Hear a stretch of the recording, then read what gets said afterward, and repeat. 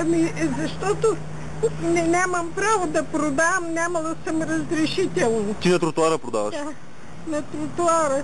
И то навътре, нали, не съм на улицата. Добре, я ми, я ми разкажи как те изгониха. Аз видях, че, те рита, че ритаха твоите работи и ги ритаха. Цветята, и аз го моля да не ритат, че съм 97% сърдечен инвалид. Да се успокоя малко, ще прибера всичко. Той вика, не само тук ще ритам, ами ще долу цяла нощ ще ти ритам в ръката.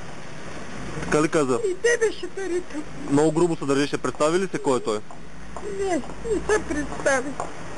Особено един е той едри, С бялата коса. най-беше груп от всички. Най-едрия с бялата коса. Той ли е? Да.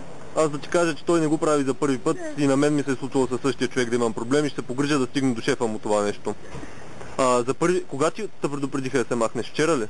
Не, днеска аз. За днес първи не път, така ли? излизала, да, днеска излязах сега за първи път, че не ми стигат парите да си докупя лекарствата. А ти се про- съпротивлява ли им се или те просто почнаха изведнъж Не, така? не, казах само чак да се успокоя, малко, че имам два инфаркта. И да не получа трети и ще се прибера, ще отида. Айде, почна да рита. Ама аз видях, този човек не, ужасно не, риташе. Не, да риташ, моля те се. Викаше, додай вратата, ти ще ритам цяла нощ. А ти не си ги обидила? Нищо каза ли му обидно Не нещо? съм им казала. Нищо. Нищо обидно. Не. Добре. На вас? жена, няма да кажем. А вие също ли продавате там?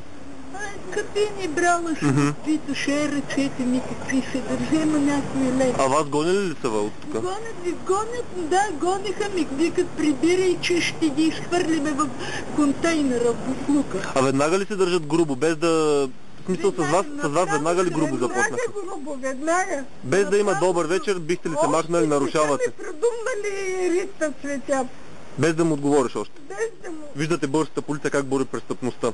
Да. Е, това е. А се хванали за нас възрастните. Нормално ли това нещо, което се Не е случва? нормално, защото мен ми е най-добре в къщи.